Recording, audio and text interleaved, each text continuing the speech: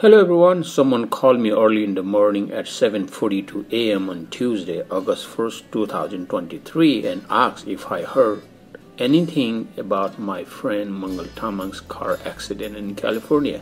It was shocking news for me early in the morning. I wasn't sure if it was true or not, but I immediately called him but no response from all of his three numbers that I had. I checked and confirmed through his Facebook that the car accident was true and both his daughter and he were safe.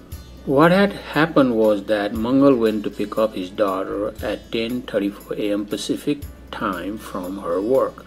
While he was on the highway, another speeding vehicle hit his car from the back.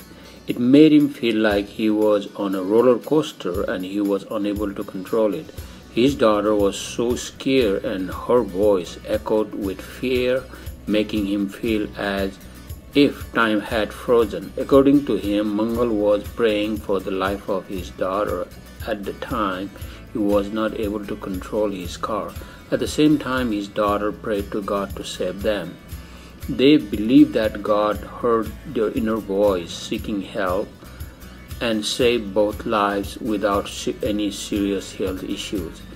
Mangal said that it was incredible magic due to the love, prayers, and positive energy from all of his family members, friends, and unforeseen angels that guided them to save during that mishap.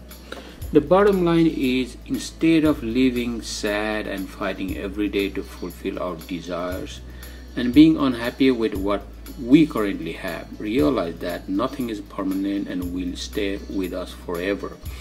Things can change our life at any moment. We must accept the reality of life that there are things that we can't change or control. As social creatures, Yes, we need to talk and discuss with each other sometimes, but that needs to be a healthy discussion or talk and should not be taken personally. That's the mistake most people make in life and remain unhappy. In the early days, people used to uplift others by giving some moral support, but in today's world, some people make you increase your blood pressure by saying something that you would not accept because you've been handing off the key to your happiness to someone else. The car accident Mangal had could have taken his life and the life of his daughter. There was nothing more important than him and his daughter being alive. For me, they both got a new journey of life, and that was the magic and mercy of God and angels. I hope you find this information helpful. It all begins with you. Thank you very much.